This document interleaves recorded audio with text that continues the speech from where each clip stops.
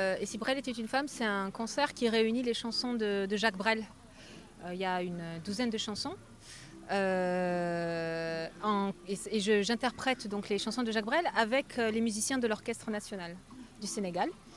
Et voilà, il faut dire qu'on on est un peu fatigué parce qu'on sort d'une grosse répétition.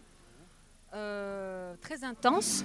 Donc, euh, mais nous sommes absolument prêts pour vendredi euh, à partir de 18h à Doutasek. Oui, c'est ça. Ça, c'est le Madame, Madame Diouf, la directrice du cabinet, qui souhaitait absolument que le concert ait lieu pendant la journée de la femme le 8. Mais bon, ça n'a pas vraiment fonctionné au niveau des dates, mais c'est pas grave. Donc ça s'est fait le 10, le 10, Mais comme le mois de mars est un peu consacré aussi à, à la femme, moi, moi je trouve, ouais.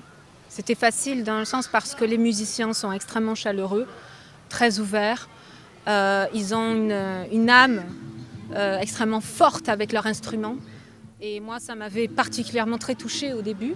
J'ai pas forcément l'habitude, je coopère beaucoup avec des musiciens en Europe, mais ce, cet amour-là pour la musique m'a énormément euh, surpris.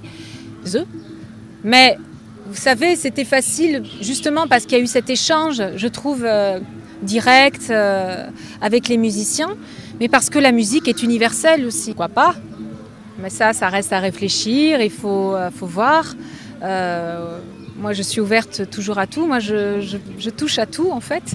Mais pour l'instant, on est très concentré sur ce projet-là avec Jacques Brel et on s'y attache.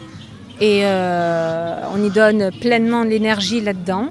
Donc, on reste là pour l'instant. Les choses, s'il y a des idées qui arrivent, tout à coup, euh, ben, ça va se faire. Mais vous savez, les projets, ça se monte à long terme, ça prend du temps. Donc, euh, on attend. On va voir pourquoi